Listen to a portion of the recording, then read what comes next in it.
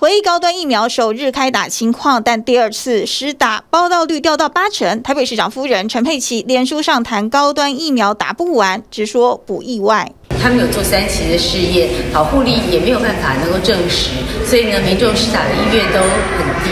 剩下来的疫苗到底应该要如何来运用？确实应该给全民一个清楚明白的交代。议员赞同这说法，因为陈佩琪说高端开打一周就能预料到这结果。如今买五百万剂，可能有近两百万都用不到。它是最贵的疫苗，浪费民脂民膏数十亿。政府是不是可以事前请专家调查评估合理的需求量，不要浪费钱买用不到的东西？这几十亿拿来纾困底层民众，不是更好吗？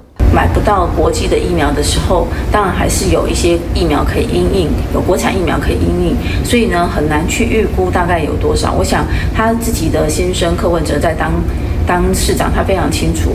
不然，为什么柯文哲要要要求要先买第三剂疫苗？绿营反击，购买疫苗前一定都有专家评估，只是目前高端也还没取得 WHO 的认证。但 WHO 也宣布，高端将在非洲马利、亚洲的菲律宾跟南美哥伦比亚进行跨三洲三国的第三期临床试验。